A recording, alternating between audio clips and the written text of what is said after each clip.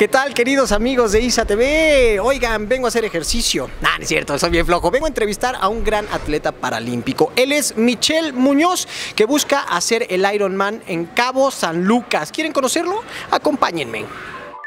Oye, Michelle, el Ironman es una prueba extenuante. Se va a llevar a cabo en Los Cabos, en Cabo San Lucas. ¿Tú qué vas a hacer? Eh, yo voy a hacer la, la- voy a cerrar la carrera de- del Ironman. Eh, son 21 kilómetros. El Ironman consiste en, natación, bicicleta y cerrar la carrera. La natación la va a hacer eh, mi amiga Erika, que es 1.9 kilómetros. Eh, Rodrigo va a hacer la bici, que son 90 kilómetros. Y pues yo cerraré, ¿no? Cerraré con la carrera de 21 kilómetros.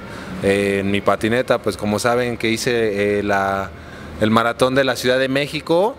Pues 42 kilómetros se dicen fácil, pero pues recorrerlos en la patineta pues, pues es muy complicado por el tipo de terreno.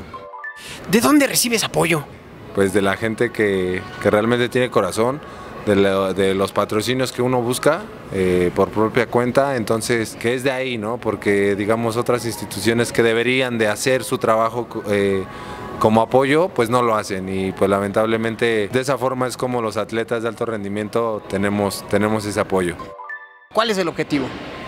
Pues la parte primordial de, de- de hacer este, este Ironman es poder eh, incluir a las personas con discapacidad, empezar a dar el ejemplo de que personas con discapacidad podemos realizar lo que a lo mejor muchas personas convencionales pueden hacer.